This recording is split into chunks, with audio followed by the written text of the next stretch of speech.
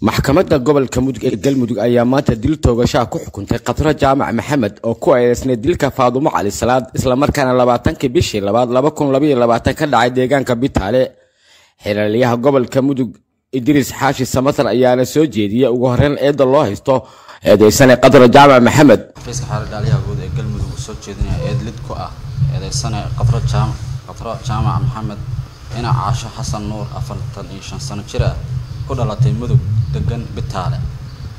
Eedeysanaha waxaa lagu ku soo eedeynay qodobka afar boqol soddon iyo afar ee xeerka ciqaabta soomaaliyeed.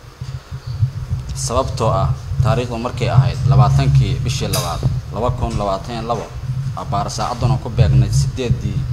maalinimo. Waxay dil kas bareer ah u geysatay.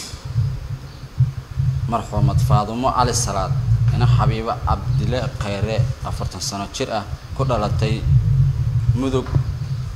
deganayd bitaale. Falkaas oo ka dhacay mudug gaar ahaan bitaale. Eedeysanu wuxuu falkaas ku geystay qoriga noociisa loo yaqaano ak dooda qareennada iyo markhaatiyaal iyo cadeymo kadib ayaa waxaa xukunka maxkamadda si kama dambaysa ugu dhawaaqay guddoomiyaha maxkamadda gobolka mudug abukaata cabdirasaaq cali yuusuf. Raxmaan raxiim maxkamadda gobolka mudug waxay ku dhawaaqaysaa xukunka dacwada ciqaab dacwad ciqaabeedkii loo haystay eedeysane qadra jaamac maxamed ina caasha xasan nuur afartan iyo shan sano jir ah ku dhalatay mudug degan bitaale. Maxkamaddu markay arag markay markay dhegaysatay eedda uu soo jeediyey xaafiiska xeeralaalyaha guud ee galmudug maxkamaddu markay aragtay qiraalka eedeysanaha oo ay ka hor qiratay maxkamadda horteeda in ay xabad ku dhifatay marxuumad faaduma cali salaad maxamed ina xabiibo cabdulle kheyre afartan jir ahayd ku dhalatay mudug deganeed bitaale. Maxkamaddu markay aragtay dembi muujinta eedeysanuhu ku geysatay falka loo haysto oo ah qore aki forty seven maxkamaddu markay aragtay warqadda caddeynta dhakhtarka ee dhimashada marxuumka marxuumadda oo ay ku caddahay sababta geerida. Maxkamaddu markay dhegaysatay doodii u dhexaysay dhinacyada kale ah xaafiiska xeeralaalyaha guud ee dowlad goboleedka galmudug iyo qareenka difaaciya eedeysanaha dooddheer kadib maxkamadda waxaa u caddaatay in qadra jaamac maxamed ina caasho xasan nuur afartan san sano jir ah ku dhalatay mudug degan bitaale ay tahay dembiilo galay dembiga lagu soo eedeeyey. Sidaa darteed maxkamaddu markay aragtay aayadda afartan shanaad ee suuratulmaa-ida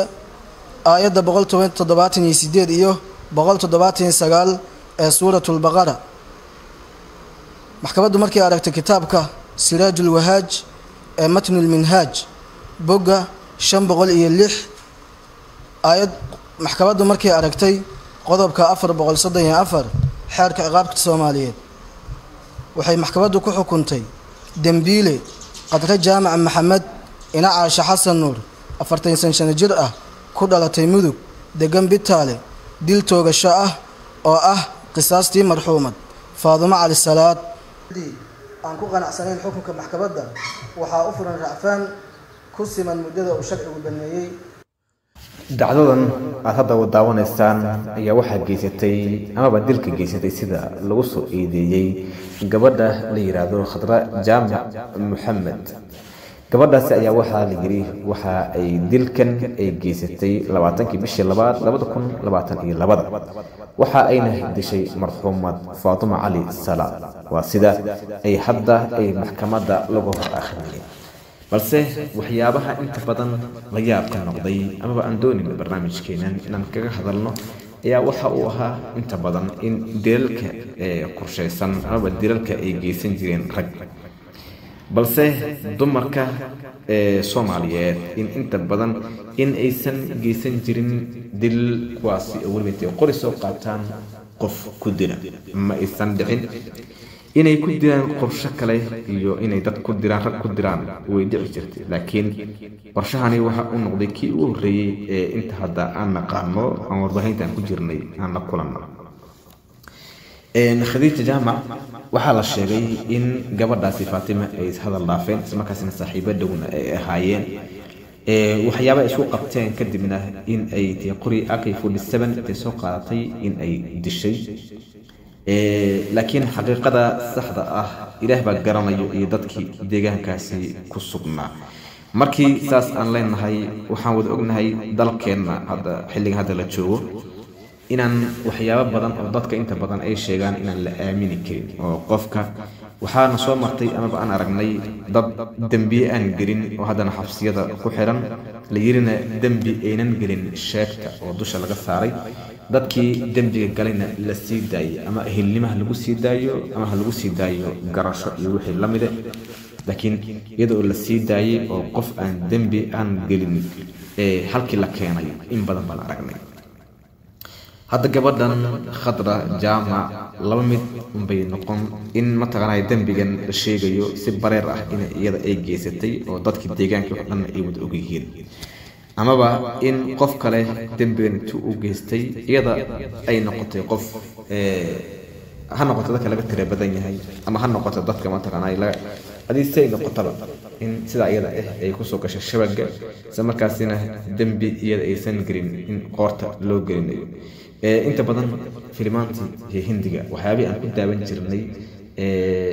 dembiyada ama dadka la khaarijinayo ama qofka dembiga uusan gelin qoorta loo gelinayo waxyaabahaas oo dhan yaa waayahan dambe waxay ku soo barteen iyagoo life ah dalkeena mayna naqaanin gabar hooye ah in mataqaanaa qori aki fadhiisan intay qaatay wixii la ah inay dembi geysato. Waa markii noogu horreysay ayay mataqaanaa ayay noqotay haddaba dadka soomaaliyeed arrintani aad bay u saamaysay aad bay yihiin arrintan iyada ah iyaga oo ku eedeeyey amaba leh arrintan iyada ah waxa ay noqotay arrin ugub ah maadaama hooyadan ay iyada lagu soo eedeeyey inay geysatay dilkan bareerka ah ee toogashada. Haddaba waxay noqotaba waxaynu arki doonaa qeybaha dambe ee barnaamijkeena haddii eeba yidhaahdo markii aynu aragno qaabka ay maxkamadeyntan ee u dhacday iyo wixii la mide wixii faahfaahin kulley nin kastana iyo ra'yigiisana halka hoose ayuu nagula wadaagi karaa. Waad mahadsantihin